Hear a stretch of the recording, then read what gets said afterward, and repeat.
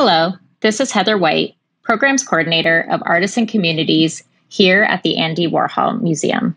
Today we are going to be looking at abstract paintings that Warhol made in the late 70s, early 80s. These paintings are called oxidations.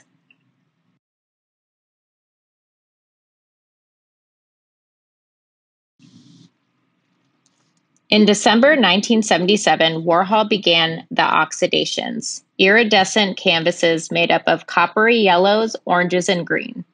Surprisingly, the only paint used by the artist in this very painterly work was the metallic gold ground. Warhol would invite friends and acquaintances to urinate onto a canvas covered in metallic paint to cause oxidation. The uric acid reacted with the copper, removing components of the pure metal to form mineral salts.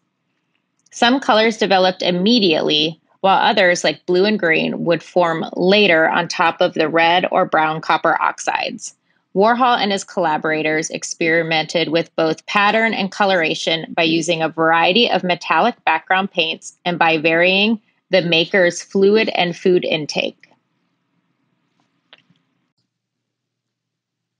In today's Making It video, we're going to show you how you can make oxidation paintings at home without the use of uric acid. Okay.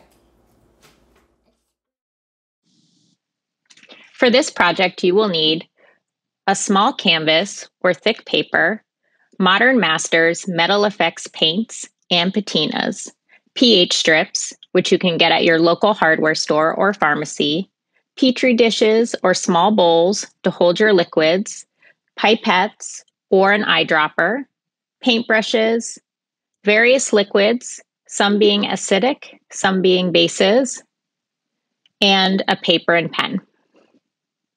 Use a paintbrush to apply the first coat of your Metal Effects paints to your canvas or paper.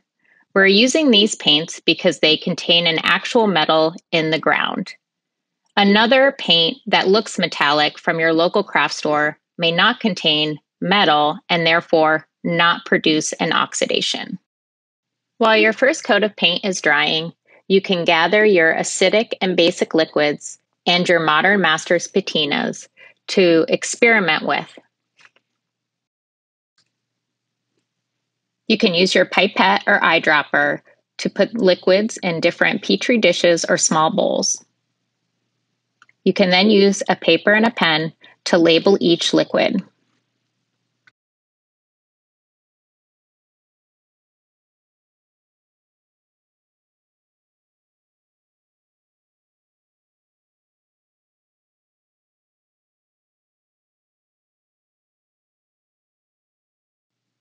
Use your pH strips to test your different liquids.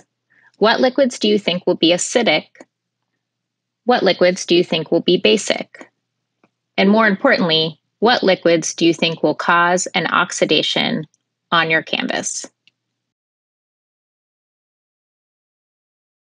When the first coat of paint dries, apply a second coat and then immediately apply your Modern Masters patinas as well as the other liquids you want to try.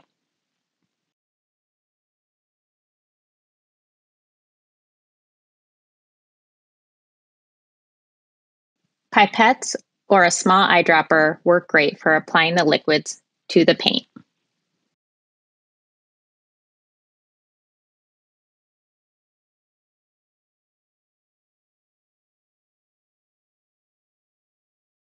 I used my pen and paper to place labels around my painting so I could see what liquids I tried in what spots.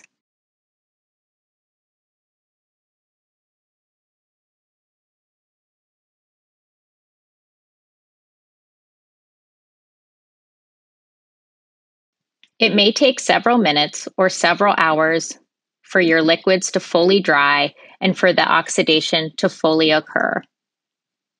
We hope you enjoy this Making It video and are excited for you to try this at home.